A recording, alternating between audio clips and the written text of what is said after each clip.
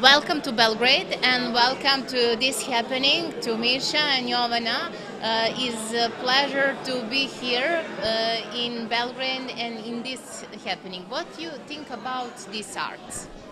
Well, um, I think the artist has uh, his very special style. Basically, uh, I would like to call this kind of style uh, etheric creatures between this world and some other world, like they are not clearly defined, and it reflects actually the kind of person the artist is actually he is. He's a kind of person with.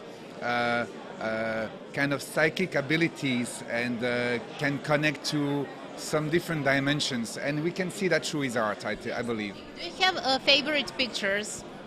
Well, uh, actually, I like the shapes, the round shapes, and the, the shapes of uh, female characters. They're pretty much defining what Venus kind of energy is all about. About body, face. About round curves, basically. And uh, what you everything like here in Serbia, in Belgrade? Well, I think the people of Belgrade are really nice people, very welcoming and very uh, cheerful people. They have a sense of enjoying life, and that's what I like the most about Belgrade. Is that art art for the future?